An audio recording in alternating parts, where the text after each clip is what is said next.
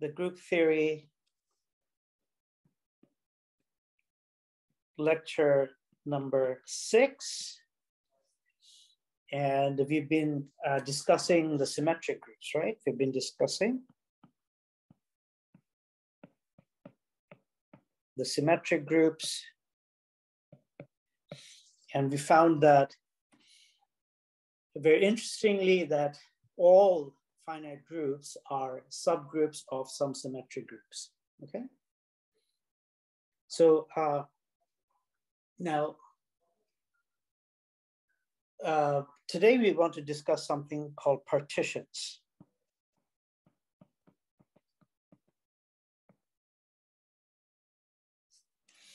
So what are partitions? So and let us consider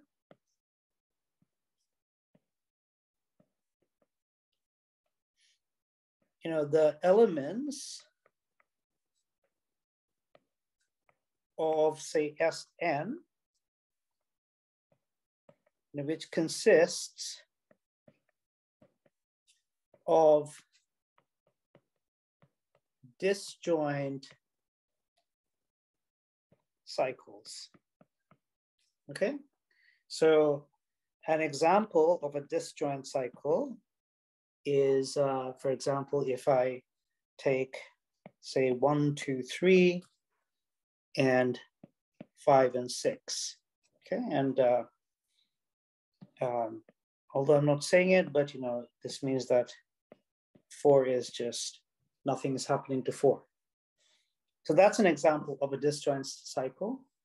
Another example of a disjoint cycle would be one, two, say, three, four, five, and suppose there's a six.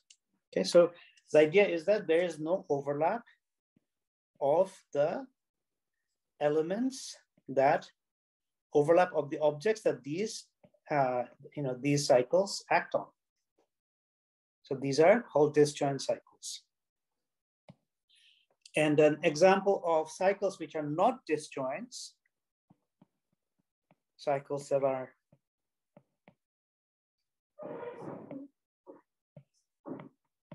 not disjoint would be cycles like say one, two, three, say three, six. Okay, so here, three and three, they occur in both. And then the other one would be say one, two, say one, five, three, okay? So, but we are interested in SN groups and disjoint cycles of this form.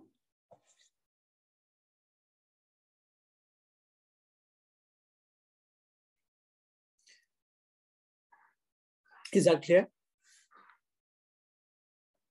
Yes, sir. Okay, so uh,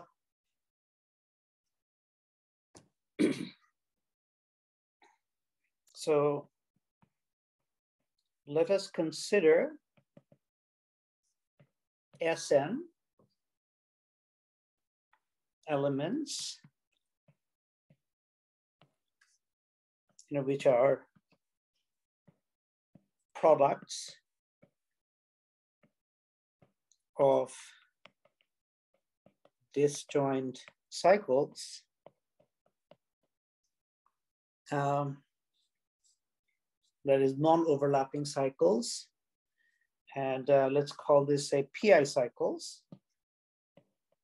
So PI cycles, that is each cycle has length PI now for I say one, it could be one cycle, it could be a two cycle, dot, dot, dot, some positive integer R.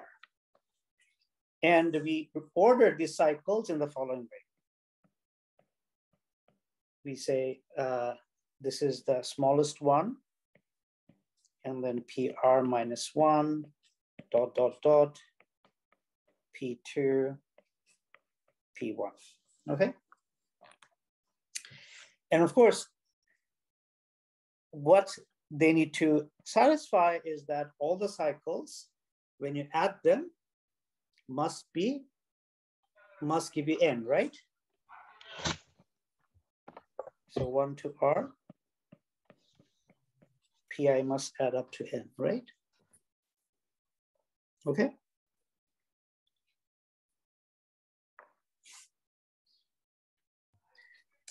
Now, these elements, you know, uh, you know, these elements, they form some subset. You know, these elements you know, form a subset of S of n, and we denote that subset we denote that subset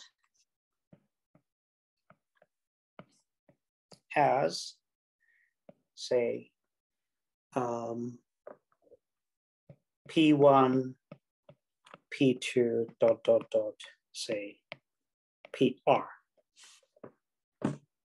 Okay. So for example, if I take, uh, say, S4, okay, and I say, okay, I'm going to consider the subsets in which P1 is equal to P2 is equals to two, right? So I denote that subset as two comma two. So later on, we, we might switch, we'll switch to a different notation, but for now, let's just use this notation. So, you know, what would be the elements of this subset, right? Well, we are considering S4, so the elements would be one, two, three, four, uh, one, three, two, four, right? And then one, four, uh, two, three, right? Do you agree? this would be the subset. So there are three elements in the subset. Okay. Now, what if I say, okay, I want to instead take, say, two, one, one. Then uh, two, one, one would consist of, say, uh, one, two, say three, four. One, three, uh, two, four. Then say one, four, two, three. And then we will have move to two. Then it'll be like two, three, one, four and there'll be two, four, one, three, and then we'll move to three. It'll be three, four, one, two. Okay, so it'll have six elements.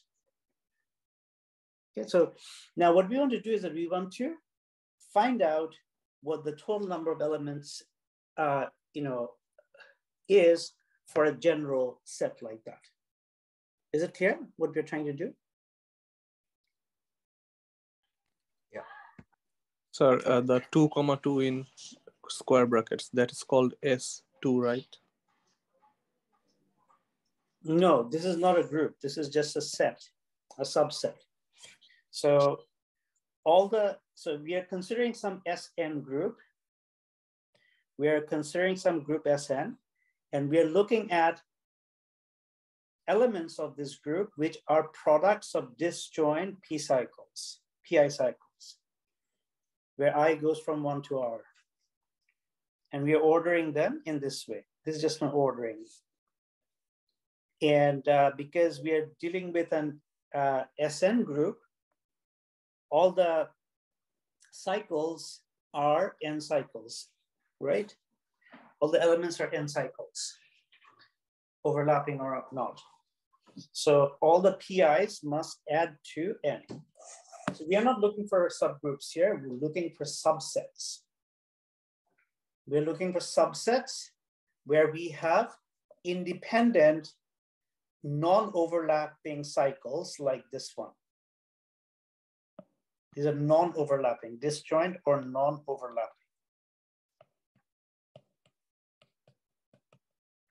And what I'm saying is that if I take, for example, uh, S4 and I look for non, so all the, in S4, you know, all the cycles in total have length four. But if I look at, you know, cycles which are non-overlapping cycles made out of two cycles, say one, two cycle and two cycles, then that set consists of these three elements, right? Because S4 has, what is the order of S4? The order of S4 is fact, four factorial, right? So it's a huge, huge group. Well, big, large group. But uh, it has only three, uh, you know, and of course, this is not a group because it doesn't have an identity element, right? Yes, sir. So it's a subset. We're looking at the subsets and we're counting the size of the subsets. Okay. So I could choose one, one, one, uh, four ones in the square bracket, right? Yeah, then you would have a different counting, right? Okay, got it. Yeah, basically just will have one in that case. Okay, so similarly, this is another subset.